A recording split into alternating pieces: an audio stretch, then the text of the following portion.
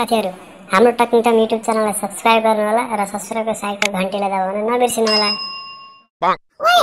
तँलाई यो भ्यालेन्टाइनमा कतिजनाले प्रपोज गरे नि? खै के भनौँ भने यार तँलाई थाहा छँदैछ नि? मेरो बानी जहिले पनि लाला भन्ने। मलाई त कतिजनाले प्रपोज गरे गरे। लाला धेरै छ मलाई ढिलो भएछ अहिले लागे यो पालि नि सिङ्गल होला जस्तो छ। ओ हेलो तिम्रो नाम के हो? निर्मला। तिम्रो मम्मीको नाम के हो? शर्मिला। अनि कहाँबाट आयो नि? हुम्ला। कताजना लाग्यो कि? अनि त्यो हातमा बोकेको चाहिँ के हो नि? झोला। त्यो झोलाभित्र के छ? सुन्तला। कहाँ सुन्तला आउनु? त्यो त फर्सी हो